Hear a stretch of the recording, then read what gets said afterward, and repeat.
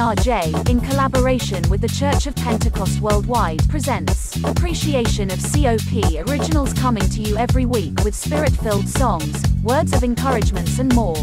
Starting from the 1st of August 2020, climaxing the season on the 24th of October 2020 with a virtual concert. Follow us on social media Facebook, CNAAJ Photography, YouTube, Charismatic, and Instagram, CNAAJ Photography. Don't miss out on this powerful experience. Praise the Lord. My name is Charisma Kwe, and I welcome you all to CNAAJ's Appreciation of COP Originals 2020. Today, we are honored to have the International Missions Director of the Church of Pentecost with us, Apostle Emmanuel Gyesi Addo. We are so honored to have him endorsing this program for us. And I hope and I pray that this video motivates you and encourages you to sing more of the COP songs, not only at home, but also in your various locales. Stay blessed, stay tuned, and God bless you. Don't forget to share it with your friends and your family. Praise the Lord, brothers and sisters out there. It is always an exciting time to be with you and to join you as we worship God and praise Him together. Today, we are talking music. Uh, music is an important part of our Christian worship. I believe that many religions also have music as forming a very important part of their worship, but to the Christian church, it is even more so. Um, the Bible says that sing a new song unto the Lord, and so uh, I believe that God Himself is very, very excited uh, if we sing new songs to Him uh, over and over all the time. And um, because of that, He continues to give us music, He continues to give us songs over the years.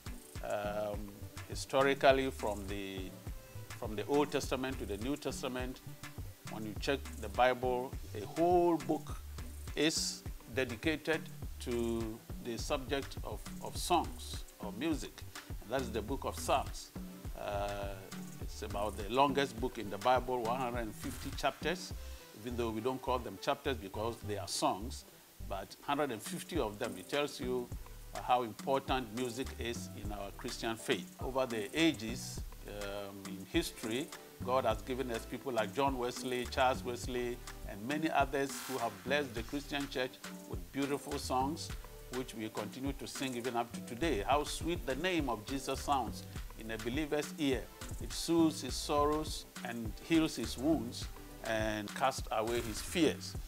This, this is a beautiful and powerful song that we still sing today, and many, many others. Captain of Israel's host and guide of all who seek the land above.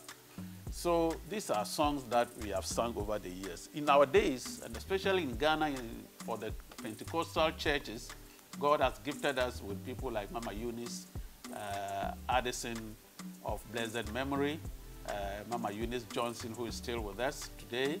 Uh, and today, we still have people in recent uh, times that uh, have also been given to the church as a gift by God to bless us with songs. People like Apostle Professor Opoku Onyinah of the Church of Pentecost, um, Mrs. Grace Gapeto, also of the Church of Pentecost, and many other pastors or ministers and officers and members, even Sunday school children. Recently, uh, we heard on Pent TV a nine-year-old child uh, who had received a very beautiful song by inspiration and uh, was sung on Pent TV. We learned it and we, we have begun to sing it in church.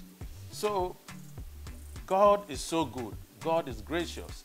And because he wants us to sing him, uh, to, to sing unto him new songs, he continues to give us uh, new songs all the time. Unfortunately, uh, even as some denominations are excited and, and, and are using our songs everywhere and worshiping and praising God through them, um, some within our own fold in the Church of Pentecost do not seem to really appreciate the depths and the relevance and the spirituality uh, of our songs. Uh, and so many a time we hear complaints that in our church we don't we don't sing our songs. We rather prefer singing songs from elsewhere. Yeah, uh, songs from elsewhere are also good uh, because if they are Christian songs, they, they, they elevate Christ and all that, that is okay. But we also want to make our songs popular because we believe that they are songs from the throne room of God, filled with the Spirit. And they are here to inspire us, they are here to lift us up uh, so that we can express our devotion, our love, our thanksgiving, and our praise to God. So let's make our songs popular. Let's sing COP songs. For example, uh, when you are down and things are really pressing on you, you need an anchor. There is this beautiful song, You Have Been My Anchor, the anchor of my soul. You have been my anchor, the anchor of my soul. You have been my anchor, a solid rock. You will never fail me, you will carry me through. Jesus, you're my anchor, the anchor of my soul. This is a beautiful song that you can sing any day, anytime. In you, O Lord, do I take refuge. In you, O Lord, do I take refuge. Do not cast me from your presence. Be to me a rock of refuge. You are my hiding place and shield. Beautiful, beautiful song. How about come down like rain? Come down like rain, divine grace upon me now, refresh my soul. Come down like rain, divine grace upon me now, refresh my soul.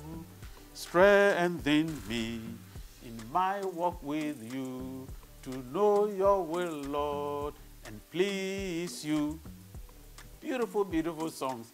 I think that we want to encourage our churches, especially our PIWCs in Africa, in Europe, in North America, in other parts of the world, to spend time and teach these songs. Spend time and learn these songs, and then let's encourage the whole congregation to sing these songs, make them popular, and also advertise them to other people who may stand in need of such soul-inspiring songs to be able to enrich their worship. So when I heard this initiative by our sister Charisma Kwe in Germany, I was so excited uh, because it's a program to um, make our songs popular, to bring our focus on what God has given to us, to appreciate what we have, uh,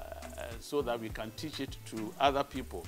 And so when I heard that Charisma Kwe, our sister, is putting this program together, I was so excited. I decided that I would give it my um, wholehearted endorsement.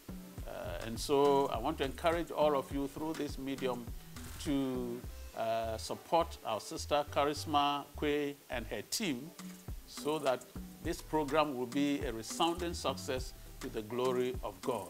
It is a program that is aimed at glorifying the name of the Lord through the instrument of music.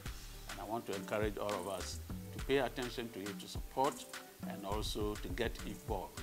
God bless you, and see you another time.